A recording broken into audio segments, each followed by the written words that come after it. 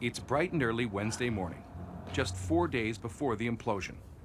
Mark places explosives in four columns two in the parking complex and two in the hotel tower. What I'm doing now is adjusting exactly where the explosives go in the column. This hole is drilled a little deeper than it ought to be. That's a policy we have. It's better to drill it just a touch deeper. You can always stem it up. This is a primer.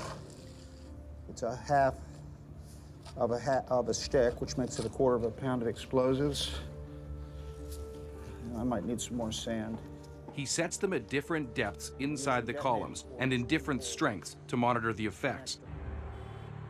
It's rush hour in Bal Harbour. I just gotta check. Everybody's upset. And move my truck. But crews are still prepping the columns for the test. This, this, this dynamite is, is, has been, the purpose of the test shot is determine exactly how much explosives we need. And it's, it's actually preferential to undershoot a test shot just a little bit if you can. If you overshoot it, you don't learn, learn too much. If Mark overshoots the test blast, it'll destroy the clues he needs to bring the building down.